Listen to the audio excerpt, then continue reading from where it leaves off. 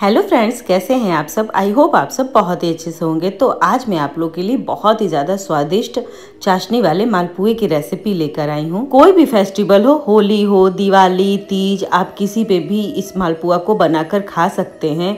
और जब भी आपका दिल करे कुछ मीठा खाने का बहुत ही मज़ेदार ये मालपुआ बनकर तैयार होते हैं और इसे बनाना भी बहुत ज़्यादा आसान है। ये जो मालपुआ है, बहुत ही ज़्यादा जूसी और बहुत ही क्रिस्पी बनकर तैयार होते हैं। ऊपर से क्रिस्पी है और अंदर से बहुत ही ज़्यादा जूसी बना है। तो एक बार मालपुआ बनाना तो बनता है ना फ्रेंड्स मैं आपको इस मालपुआ को तोड़ कर दिखाती हूँ। ये देखिए, ये कितना ज़्यादा सॉफ्ट बना है। अंदर तक चाशनी अच्छे से एब्जॉर्ब हो गई है। देख कर ही अंदाज़ा लगा सकते हैं आप की मालपुआ हमारा जो है ना ऊपर से क्रिस्पी और अंदर से कितना ज़्यादा जूसी बनकर तैयार हुआ है। तो फ्रेंड्स अगर आपको ये मालपुए की रेसिपी थोड़ी सी भी पसंद आए यूजफुल लगे तो प्लीज़ इसे ज़्यादा से ज़्यादा शेयर करिएगा लाइक कीजिएगा और मेरे चैनल को सब्सक्राइब करना बिल्कुल भी ना भूलिएगा। तो चलिए रेसिपी को शुरू करते हैं। मालपुआ बनाने के लिए मैंने यहाँ पे एक कटोरी गेहूँ का आटा लिया है।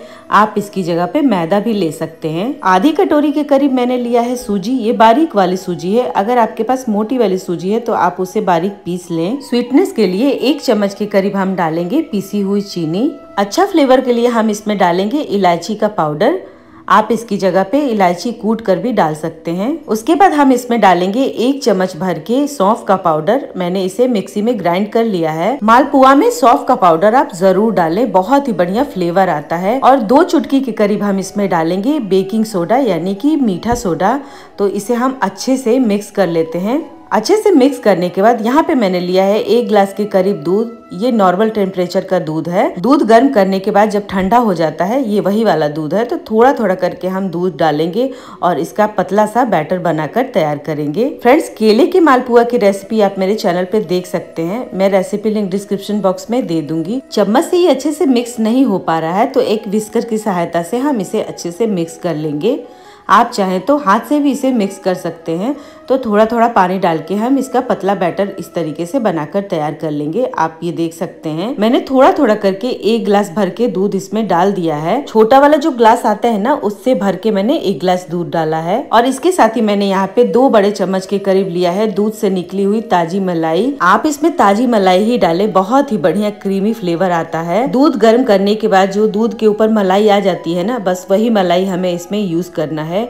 यकीन मानिए फ्रेंड्स, बहुत ही बढ़िया हमारा ये जो मालपुआ है ना, बनकर तैयार होता है तो अच्छे से हम इसे मिक्स कर लेंगे। अगर आप चाहें तो मालपुए का जो बैटर है ना, आप पानी में भी बना सकते हैं, लेकिन दूध में बहुत ही बढ़िया फ्लेवर आता है। तो ये देखिए, इसकी कंसिस्टेंसी आप देख सकते हैं। बिल्कुल इस तरीके की हमें कंसिस्टेंसी रखनी है। इसको हम 15 से 20 मिनट के लिए रेस्ट होने के लिए छोड़ देते हैं ताकि हमारी जो सूजी है ना, अच्छे से फूल जाए। चाशनी बनाने के लिए इस तरीके से हमें कोई सा भी चौड़ा बर्तन लेना है, कढ़ाई ले सकते हैं। तो उसमें मैंने डाला है एक कटोरी भर के चीनी। उसी कटोरी से नाप के हम एक कटोरी पानी डालेंगे। अच्छे से हम चीनी को मिक्स कर लेते हैं। मीठा आप अपने टेस्ट के अकॉर्डिंग कम या ज़्यादा कर सकते हैं। फ्लेवर के लिए मैं इसमें डाल रही हूँ रोज वाटर वाटर आप इसमें डाल सकते हैं, केवड़ा वाटर या फिर इलायची का पाउडर, जो भी आपके पास अवेलेबल है, आप वो डाल सकते हैं, अच्छे से हम मिक्स कर लेते हैं।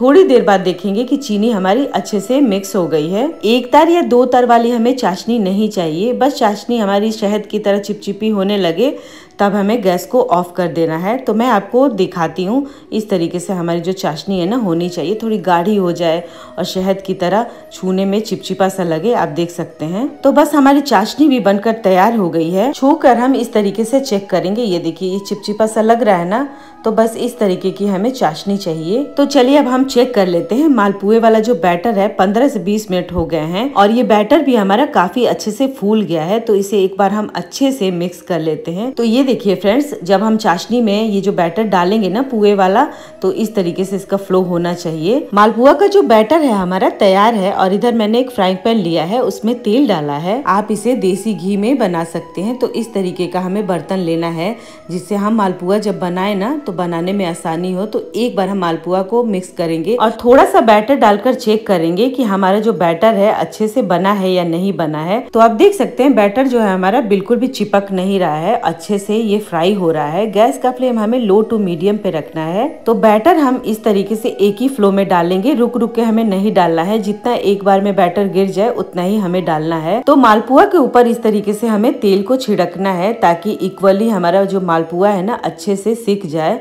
तो हम दूसरी तरफ़ इसे पलट कर सेक लेते हैं। तो इस तरीके से उलटते पलटते हुए हमें मालपुआ को सेक लेना है और इसका कलर जब इस तरीके से सुनहरा हो जाए ना, तब हमें निकालना है। थोड़ी देर होल्ड करके निकालेंगे ताकि इसका जो एक्स्ट्रा ऑयल है ना, वो निकल जाए। एक और मैं आपको मालपुआ बनाकर दिखाती हूँ तो इस तरीके से हम बैटर डालेंगे। आप इस मालपुआ को केवल गेहूँ के आटे से या फिर केवल मैदा से भी बना सकते हैं, लेकिन एकदम मार्केट वाला फ्लेवर देने के लिए मैंने इसमें सूजी भी ऐड किया है। सूजी से बहुत ही ज़्यादा क्रिस्पी हमारा मालपुआ बनकर तैयार होता है।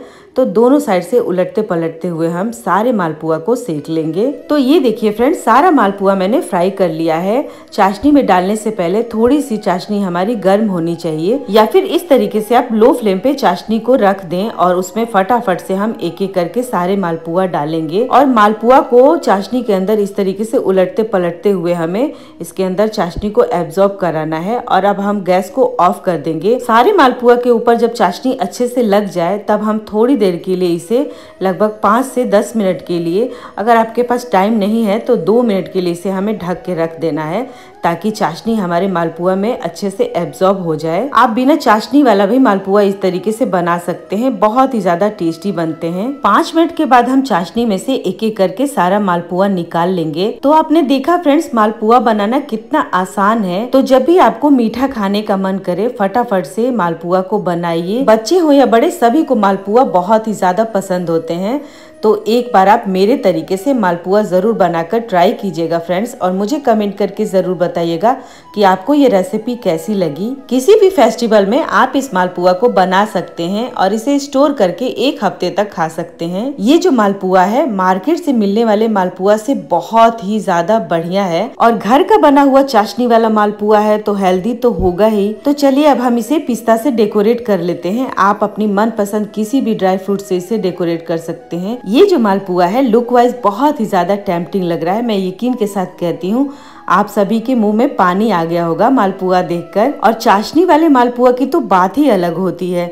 मैं आपको एक मालपुआ तोड़ कर दिखाती हूँ। ये देखिए फ्रेंड्स कितना ज़्यादा ये ऊपर से क्रिस्पी और अंदर से कितना ज़्यादा जूसी बना है। चाशनी जो है मालपुआ के अंदर तक अच्छे से एब्जॉर्ब हो गई है। यकीन मानिए फ्रेंड्स किसी को भी आप ये मालपुआ जब सर्व करेंगे ना तो वो आपकी तारीफ़ करते नहीं थकेंगे। आपको ये रेसिपी कैसी लगी, मुझे कमेंट करके ज़रूर बताइएगा। कहाँ से आप ये रेसिपी देख रहे हैं, वो भी ज़रूर बताइएगा। उम्मीद करती हूँ फ्रेंड्स आपको ये चाशनी वाले मालपुआ की रेसिपी बहुत ही ज़्यादा पसंद आई होगी।